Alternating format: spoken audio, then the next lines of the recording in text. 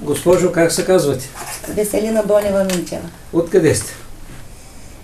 Родом. Откъде къде живеете? Племен.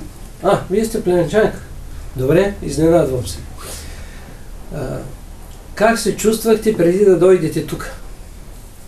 Много зле. Какво усещахте? Ми, какво усещах? Всичко ми беше... Направо не мислех за живот. Какво беше казала лекарката?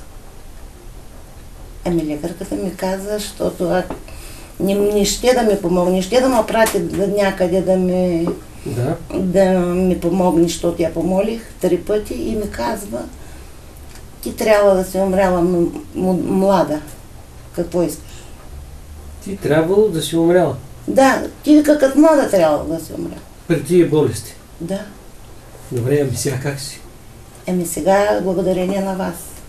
Как се чувстваш? Сега съм много по-добре. Още и след като... И понеже прекъснах аз Да. малко, за малко прекъснах билките, обаче това изчистването е, прекъснах, ама пак ми е добре.